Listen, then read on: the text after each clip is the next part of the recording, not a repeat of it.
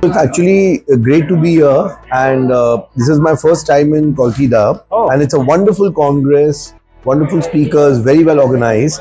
But my introduction to Threads was in 2003 with uh, Dr. Woffles Wu when I used the first generation Yes. Aptos. Yes. So with Namika, where do you see the future? How do you see the future? First of all, welcome to Georgia. Thank you so welcome much. to Thank you. Congress. Always pleasure. Thanks for coming, and uh, hope next years you will come more and more. And each year we Yes. are trying to be more and more interesting and interactive. Uh, yeah, Aptos and uh, thread lifting has uh, quite a big uh, story. Maybe some uh, doctors or patients uh, they they think that it's something new, but it's a big long story.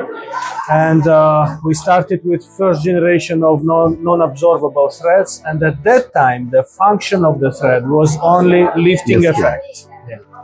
But now we understand that uh, lifting is not enough.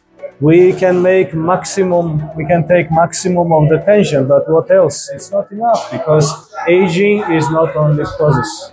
So of course you know that we need to feel sometime some areas.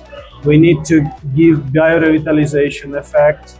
So new type of threads, Namika threads, it's not only about uh, lifting effect. It's also about uh, true rejuvenation process. Absolutely. So it's interesting because even if we see the world of plastic surgery and aesthetics, uh, facelifting used to only be lifting and tightening the smacking and rejuvenation. So I think also with the launch of uh, Allure, which is again uh, PLLA for biostimulation and a new generation. So that's the direction I think that we are going at. Yeah, exactly. I'm plastic surgeon. I do facelifts surgical way, and uh, I know that in most of the cases it's not enough for our patients. So we, we know a lot of cases when patients start facelifting surgeries very early, and uh, what they will do later if they will do facelift in 40 years old, they should do next in 50, next in 60. So how many facelifts they should do? Absolutely, absolutely.